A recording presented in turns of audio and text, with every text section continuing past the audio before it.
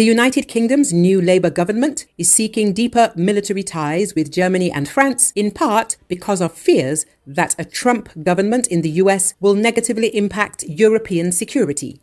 As reported by Politico, the UK and Germany have strong concerns regarding Donald Trump's intentions vis a vis Europe as a whole and Ukraine in particular. These concerns have increased since Trump has chosen his running mate, J.D. Vance, who repeatedly stresses his opposition to the US writing what he has called blank checks to help Kiev fight off the Russian invasion.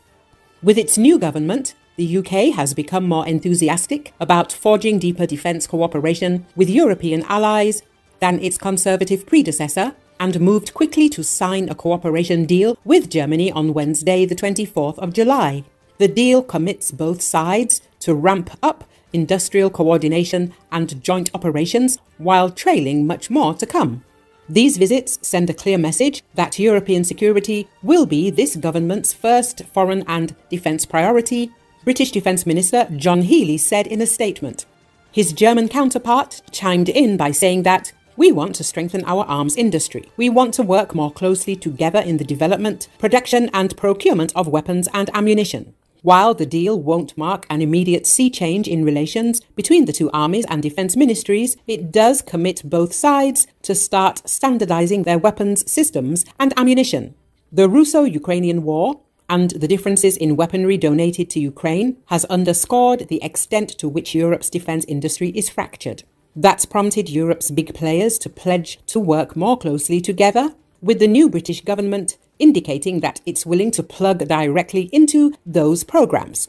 The UK and Germany are the top two European contributors to Ukraine when it comes to military aid and the biggest outright spenders on defense, committing 74.9 billion euros, about 81.21 billion dollars, and 66.8 billion euros, about 72.50 billion US dollars, respectively in 2023 according to the Stockholm International Peace Research Institute. In addition, Healey said that the objectives set out in Wednesday's joint declaration include strengthening UK and German defence industries, reinforcing Euro Atlantic security, improving the efficiency of joint operations, confronting evolving security challenges such as the cyber domain, and supporting Ukraine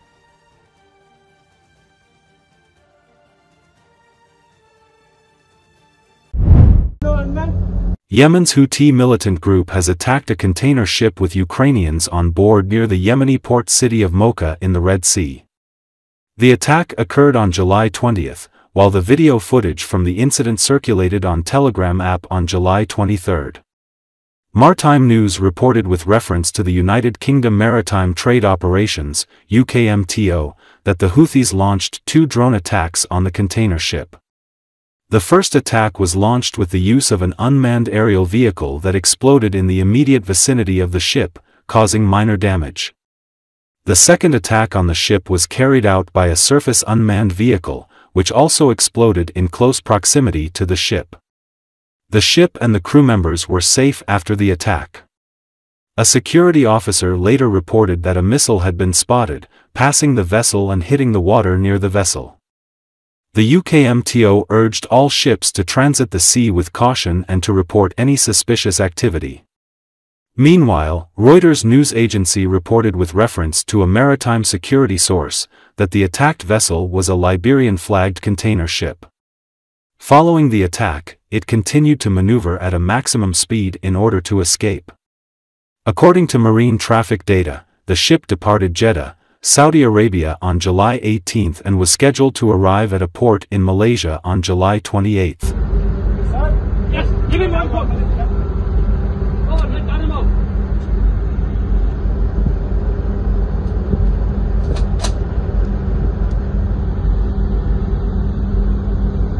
fucking unmanned.